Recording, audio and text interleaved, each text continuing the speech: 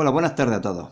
En primer lugar, deciros que el ejercicio 6 de la opción B del año de 2016 del examen Reserva 1 trata sobre el tema de la energía en las reacciones químicas, que como sabéis, desde el año pasado entra en el programa de primero de bachillerato y no en el de segundo de bachillerato, por lo que no puede entrar, no puede caer en los exámenes de selectividad. Por ello he decidido no realizar el vídeo sobre este problema. Si en años posteriores se reconsiderara la idea, pues realizaría los vídeos correspondientes a este tema. Vamos a hacer ahora un problema de reacciones de ácido-base. Sería el ejercicio Selectividad Química Andalucía, examen reserva 2, año 2016, opción A, ejercicio 5. Se dispone de una disolución acuosa de hidróxido de sodio 0,8 molar. Calcule, apartado A, la concentración y el pH de la disolución resultante de mezclar 20 ml de esta disolución con 80 ml de otra disolución 0,5 molar de la misma sustancia, suponiendo que los volúmenes son aditivos.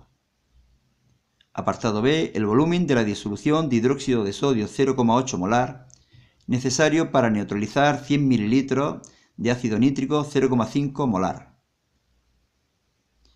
Bueno, pues en primer lugar recordamos los datos más importantes de las dos disoluciones. A la primera disolución, la que llamo A, eh, es de hidróxido de sodio, tiene 20 ml y una concentración de 0,8 molar. La disolución B, que también es de hidróxido de sodio, tiene un volumen de 80 ml y una concentración de 0,5 molar. Nos piden la concentración molar y el pH. Pues bien, el número de moles de hidróxido de sodio será igual que el número de moles de iones hidroxilo, puesto que el hidróxido de sodio se disocia totalmente, y será igual a 0,8 por 0,02, que son los moles que hay en la disolución A, más 0,5 por 0,08, que son los moles que hay en la disolución B. Se obtiene un valor de 0,056 moles de iones hidroxilo. La concentración será igual al número de moles dividido el volumen, es decir, 0,056 entre 0,1, que me da un valor de 0,56 molar. Evidentemente la concentración de hidróxido de sodio será 0,56 molar. Sabemos que el pOH es igual a menos logaritmo de la concentración de iones hidroxilo, es decir, en este caso menos logaritmo de 0,56, que nos da un valor de 0,25. También sabemos que la suma del pH más el pOH es 14 y por tanto el pH de esta disolución será igual a 14 menos el pOH igual a 13,75. Veamos ahora en el apartado B la reacción de neutralización. Se da entre el hidróxido de sodio y el ácido nítrico para producir nitrato de sodio y agua. Indico las características de las dos disoluciones. El hidróxido de sodio es 0,8 molar y el volumen no lo conocemos, mientras que el ácido nítrico es 0,25 molar y el volumen 100 mililitros.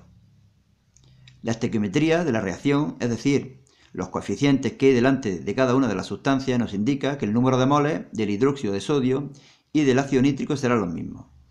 Podemos calcular los de ácido nítrico, que serán 0,25 por 0,1, es decir, 0,025 moles de ácido nítrico. De hidróxido de sodio habrá los mismos, 0,025, que será igual a la molaridad 0,8 por el volumen, el volumen lo despejamos, calculamos y obtenemos un valor de 0,03125 litros. Lo pasamos a mililitros por comodidad y obtenemos un valor de 31,25 mililitros. Facilón. ¿No? Hasta luego.